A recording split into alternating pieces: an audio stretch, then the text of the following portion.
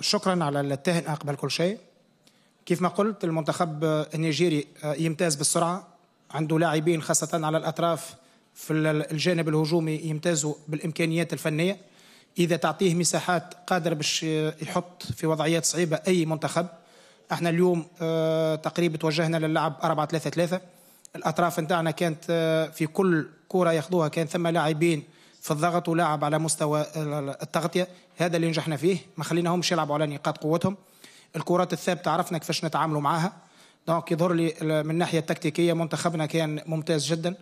آه نعرفوا زاد اللي على المستوى التحولات و les transitions offensives المنتخب النيجيري وقت اللي يخسر الكرة آه ما عندوش إمكانيات باش يتراجع. وهذا اللي كنا ناجحين فيه.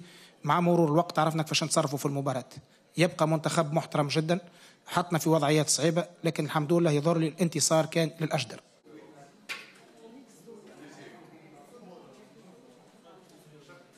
We came here on a mission and we gave it all.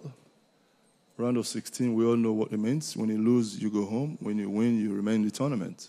And that's the song we've been singing. And I can't really fault these boys because they gave it up. They, they fought for it. And um, it just wasn't to be.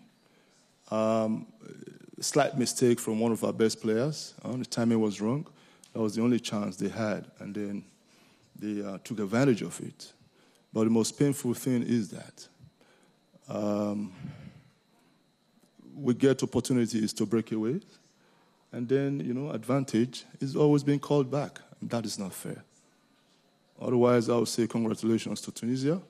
I've told the boys, don't bury your head down because you've given up, you've, give, you've given everything. Just look ahead and see how you qualify Nigeria for the World Cup. والله ساعة الحمد لله الحمد لله معناها كل الصعوبات. واللي تعدينا بها والكورونا والصفر و... ونهارين بعد ماتش وتعب الحمد لله معناها فرحنا الشعب التونسي عمرنا باش نحب نقول حاجة اللي عمرنا رانا ما شكينا في رواحنا ولا لحظة ولا في المدرب نتاعنا ولا في في الشعب نتاعنا كل ما نهبطوا التيران رانا باش نعطيو رانا باش نعطيو 100% وما نصورش حتى جوار باش يعطي أقل. والماتشات هذوما شفتوا معناها رجال. وإن شاء الله يا ربي نكملوا هكا إن شاء الله.